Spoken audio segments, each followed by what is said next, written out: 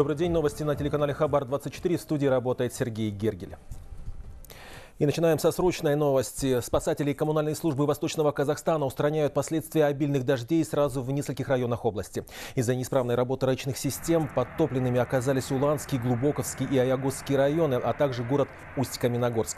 По информации ДЧС, ливневки и водопропускные системы не были своевременно очищены и теперь они не справляются с последствиями выпавших осадков. В работах по откачке воды задействованы около 200 человек, больше 50 единиц техники и свыше 20 мотопомп. За сутки Сотрудниками ДЧС области эвакуированы 23 человека. Жертв и пострадавших нет. Между тем, в регионе сохраняется пасмурная и дождливая погода. К событиям в мире. Больше 20 сотрудников сил безопасности погибли. Еще трое похищены в результате атак боевиков в афганской провинции Фарах на западе страны. Об этом сообщали местные СМИ. По их данным, боевики напали на посты правоохранителей в районе Балабулук а также в административном центре провинции. По предварительной информации, нападение совершили боевики радикального движения «Талибан». Отмечу, ситуация в Афганистане заметно ухудшилась. Талибы, ранее взявшие под контроль значительные территории в сельских районах страны, развернули наступление на крупные города. Береговая охрана Ливии в ходе трех операций в Средиземном море спасла 335 нелегальных мигрантов, в основном из стран Африки. Как сообщил представитель ВМС страны, последняя операция прошла близ города Абу-Камаш. Патруль доставил мигрантов на морскую базу в ливийской столице Триполи. Вынужденным переселенцам была оказана медицинская помощь. Отмечу, Европа переживает самый серьезный со времен Второй мировой войны миграционный кризис, вызванный в первую очередь вооруженными конфликтами и экономическими проблемами в странах Африки Африки и Ближнего Востока. По данным Международной организации по миграции, в прошлом году морскими путями до берегов Европы добрались свыше 170 тысяч человек. При этом 3 тысячи погибли при попытке пересечь Средиземное море. Среди европейских стран больше всего беженцев приняла Италия – почти 120 тысяч человек.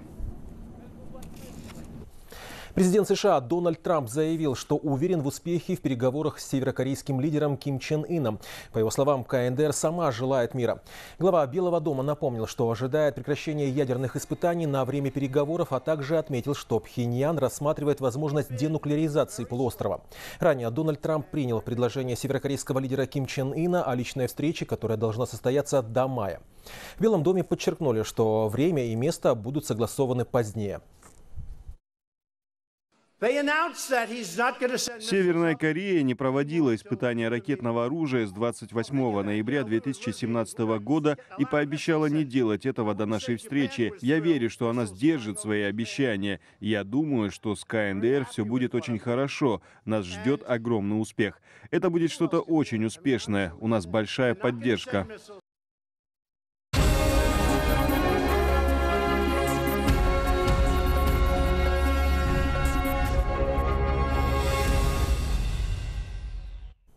На селе ждут дополнительного льготного кредитования. Это одна из пяти социальных инициатив, озвученных президентом страны. Глава государства заявил об увеличении кредитного портфеля на треть. Теперь на развитие бизнеса выделят 62 миллиарда тенге. Насколько это своевременно, наглядно демонстрирует пример Каркаролинского района Каргандинской области. В прошлом году свой бизнес хотели открыть 170 человек, но из-за нехватки финансирования кредиты под 6% годовых смогли получить лишь 102 предпринимателя. В основном деньги пошли на развитие животноводства, 20% 50% проектов связаны с улучшением сферы обслуживания и инфраструктуры на селе. Это очень хорошая возможность по 6% получить кредит, хорошие суммы на открытие собственного дела. И ежегодно у нас в разы увеличивается количество желающих, и вот это обращение даст им хорошую возможность э, осуществить свою мечту. Новые инициативы президента прокомментировал немецкий политолог Матиас Дурнфельд. Эксперт отмечает, что предложенные казахстанским лидером пять социальных инициатив весьма своевременны и значимы. Реализация поставленных задач повысит уровень жизни населения и позволит укрепить экономику страны Я считаю, пять социальных инициатив президента Назарбаева усилят экономику, улучшат качество образования и в целом поднимут уровень жизни населения. В программе уделено внимание и предпринимателям. Они смогут получить микрокредиты на бизнес, а население, которое имеет малый доход, также ощутят на себе реформы. Я думаю, снижение налогов очень важный шаг. Также меня как профессора очень радует, что будет увеличено количество грантов. И президент подчеркнул, что готовить нужно востребованных будущим специалистов. Например, в инженерной науке, медицине и робототехнике. Также важна газификация. Миллионы людей получат газ. У Казахстана есть ресурсы и возможность построить инфраструктуру. Перемены будут на благо населения. Улучшится и экология. Это очень дальновидно. Свое мнение о пяти президентских инициативах высказал и научный сотрудник исследовательского центра ЧЕМОС в Италии Андреа Картини. Подчеркнув значение индустриализации страны, он особо отметил проект Нурсултана Назарбаева по строительству в Казахстане нового магистрального газопровода и газификации северных регионов. Attenzione interessante anche per l'ispirazione ecologica. Этот проект мне кажется интересным, в том числе с экологической точки зрения. Думаю, выставка Экспо в Астане действительно позволила осознать как широким слоям населения, так и кругам политическим, что переход на газ и ресурсы Грин – это правильный путь даже для такого богатого запасами государства, как Казахстан. Я имею в виду запасы угля, например, использование которого сегодня уже не является предпочтительным. Бакинский зерновой терминал станет активным участником международных транспортных проектов, которые реализуются совместно с Казахстаном и Азербайджаном. Отечественное зерно отправляет по Каспийскому морю через этот терминал вот уже 12 лет. Новые возможности позволят расширить географию и выйти на рынки Турции и Ближнего Востока. Все подробности у нашего собственного корреспондента в регионе Шафа Калиевой. Терминал с одобрения правительств Казахстана и Азербайджана основан в 2006 году. За эти годы компания уверенно реализовала основную цель – стабилизация экспорта казахстанского зерна и обеспечение Азербайджана зерновыми продуктами. Казахстанская пшеница отправляется из порта Актау в порт в поселке Говсаны, на территории которого и находится зерновой терминал. Здесь также функционирует мельница, которая поставляет муку на рынки страны. Терминал оснащен современным оборудованием, мы позволяет, которое позволяет нам единовременно хранить до 15 тысяч тонн зерновых культур. Э, мощность перевалки составляет полторы тысячи тонн э, зерна в сутки, что в годовом эквиваленте равняется около 300 тысяч тонн э, зерновых. Мы производим 150 тонн муки в сутки, и, то есть, соответственно, в годовом эквиваленте это более 50 тысяч тонн муки. Терминал намерен активно участвовать в международных транспортных проектах, которые реализуются в регионе при непосредственном участии Казахстана и Азербайджана. В планах в этом году использовать возможности маршрута север-юг железнодорожного пути Баку-Тбилиси-Карс и вывести казахстанское зерно на рынки Турции и Ближнего Востока. Что касается экспорта зерновых культур через наш терминал, конечно же, мы работаем с продкорпорацией. Продкорпорация экспортирует зерновые культуры в Азербайджан. Часть Часть зерна мы перерабатываем а, в муку. Также мы сотрудничаем с российскими и азербайджанскими трейдерами, которые заинтересованы в перевалке зерновых через наш терминал а, в сторону Ирана. В целом потребность Азербайджана в зерне составляет около 3-3,5 миллиона тонн в год. По сравнению с 2016 в минувшем году страна снизила импорт зерна на 20%. На заседании межправительственной комиссии Казахстана и Азербайджана в конце прошлого года стороны договорились довести экспорт казахстанского зерна в Азербайджан до 1 миллиона тонн в год. Шафагалеева, Альгюн Гасан, Хабар 24, Азербайджан, Баку.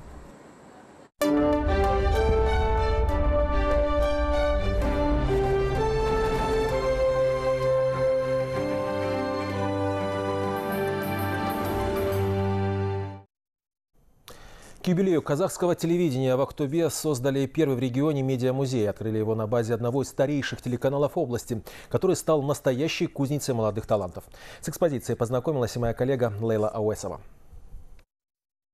И ожил песчаный, ковыльный мой край – Актюбинский телецентр начал работать 29 октября 1960 года. Черно-белые передачи тогда транслировались в прямом эфире. Позже их стали записывать. Самые первые телевизоры и другие уникальные экспонаты теперь хранятся в новом медиамузее. Тяжелые студийные камеры застал еще Бауржан Баймуканов. Любимой работе телеоператор посвятил четверть века.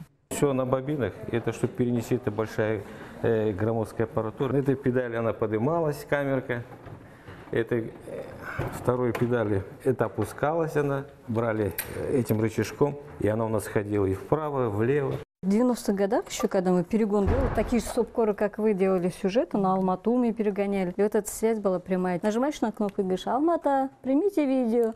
Как у нас качество по видео, по звуку. В трансляциях первомайских парадов Гульмира Дусмуратова уже не участвовала. Свою карьеру на телевидении начинала с ассистента режиссера. Шел 94 год, у актюбинской аудитории были популярны информационно-познавательные передачи «Десять с половиной», «Сарласу», «Свидание по пятницам».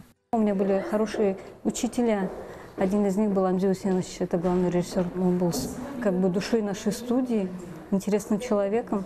Именно от него я заразилась этому драйву прямого эфира. Так, внимание, ребята, работаем.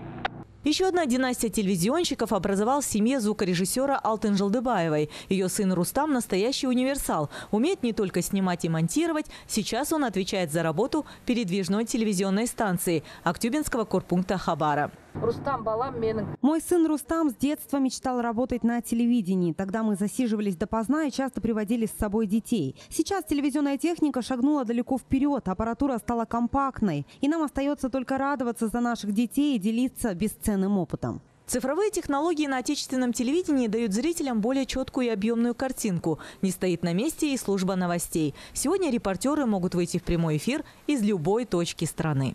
Казахскому телевидению 60 лет. Прошла целая эпоха, сменились разные поколения дикторов, журналистов и телеоператоров. Но во все времена здесь царит особый творческий дух. Все, что зритель видит на экране – результат слаженной работы целой команды профессионалов. Лейла Уэсова, Инадин Молдобеков, Гульмира Дусмуратова и Айбек Даутов. Хабар-24. Актубе. Превратить любимое хобби в бизнес смогла павлодарская художница Алтын Атеева. Она в совершенстве владеет техникой батика. Теперь мастерица декоративно-прикладного искусства решила покорить казахстанские и зарубежные рынки, изучив основы ведения бизнеса. Алтын Атеева училась искусству росписи ткани в Малайзии. Именно там она прониклась всей душой к этой удивительной технике. Несколько лет совершенствовала мастерство. Сейчас ее работы вызывают особое восхищение. Первый опыт продажи своих изделий она приобрела на выставке в Объединенных Арабских Эмиратах. Одно из ее лучших творений купила японка. Вернувшись на родину, Алтын загорелась желанием превратить свое хобби в бизнес. За помощью обратилась в региональную палату предпринимателей. Мы направляли, что ей лучше открыть консультации ИП или ТО открыть ей лучше, как с чего начать работу, как составить бизнес-план. Вот мы с ней вот работаем по составлению бизнес-плана. Этот бизнес-план она будет защищать перед управлением предпринимательства и торговли Павлодарской области. Мастерица рассчитывает получить государственный грант. 3 миллиона тенге планирует потратить на оборудование. Оно позволит ей ускорить процессы приготовления материала для художественной росписи. Алтын признается, что мечтает множить свои работы в десятках и даже сотнях экземплярах. Наше искусство востребовано, наше искусство интересно. Что вот э, как восхищаются они батиком, у меня шторы купила японка. То есть э, э, там такой огромный спрос, и я пришла к тому, что нужно заняться бизнесом для того, чтобы производить, производить больше, производить на экспорт, э, чтобы можно было делать много интересных вещей. Айгуль Салкумбаева, профессиональный менеджер и поклонница таланта Алтына Теевой, не упускает возможность первой приобрести у Алтын очередную новинку. Они уже стали близкими подругами. Говорит, ее творчество не только завораживает, но и имеет огромные перспективы на рынке изобразительного и декоративного искусства. Есть возможность э, поставить ее деятельность, ее бизнес э, на большой рынок а, и представлять Казахстан на международном уровне так как ее работы ценятся за границей. А, знаменитые наши люди Казахстана, э, поклонники. Я тоже очень большая поклонница и думаю, каждой женщине будет очень приятно носить ручной работы изделия. Художница планирует совместить технику батика с вышивкой, кожей и деревом. Ее мечта создать уникальный бренд, изюминка которого станет отображение древней культуры казахского народа. Ербулабишев, Самат Аспанов, Алексей Меницкий из Павлодара, Хабар, 24. Ежегодная выставка бабочек Butterfly Jungle стартовала в американском городе Сан-Диего. Сквозной вольер для птиц в местном зоопарке стал временным домом для тысяч крылатых насекомых. Экспозиция оформлена в стиле тропического леса. У посетителей есть возможность увидеть больше 30 видов бабочек разных расцветок и размеров. В вольере также высажены многочисленные растения и проживают 18 видов экзотических птиц. Выставка продлится до 15 апреля. Ее главная цель – привлечь внимание к проблеме сокращения популяции крылатых насекомых. На данный момент это все новости, о которых мы хотели вам рассказать. Всего доброго и до свидания.